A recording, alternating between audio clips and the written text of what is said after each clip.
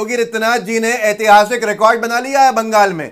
आप भी देखेंगे तो दंग हो जाए दंग रह जाएँगे। ये एक ऐसा रिकॉर्ड है जिसको तोड़ने की चाहत शायद किसी के दिल में हो ही नहीं सकती है। आप खुद देखिए और दंग हो जाइए, वो रिकॉर्ड है सबसे कम भीड़ का। योगी जी की बंगाल की एक सभा में इतने कम लोग आए हैं कि लोग ही नहीं दिख रहे हैं। लोग दिख ही नहीं रहे हैं और उसके ऊपर से योगी जी क्या भाषण दे रहे हैं? खाली कुर्सियों को और कुछ लोगों से ये कह रहे हैं कि आपको देखकर तो प्रसन्न हो गया दिल।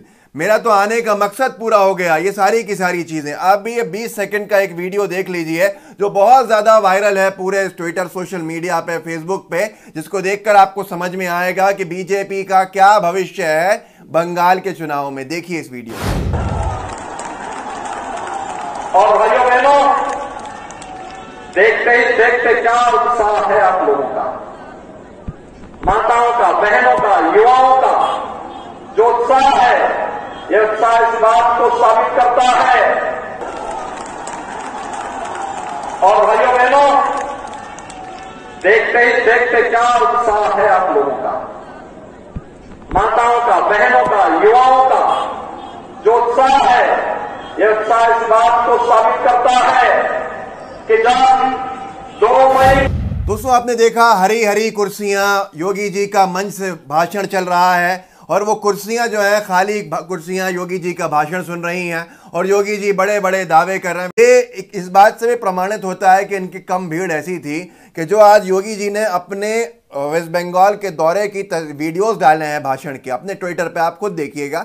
दो डले हैं। एक में लिखा है कि कुलताली की रैली को संबोधित कर रहे हैं और दूसरे में लिखा है कि फालता की रैली को संबोधित कर रहे हैं। दोनों ही वीडियोस जब आप देखेंगे तो आपको इसमें एक समझदारी दिखेगी। समझदारी यह है कि कैमरे का फोकस जो है सिर्फ़ योगी जी की तरफ़ है। भीड़ की तरफ़ कोई फोकस नहीं है। एक बार भी भीड़ की तरफ़ ले जाया नहीं जा रहा है कैमरे को, ताकि लोगों के सामने पोल नहीं खुल जाए।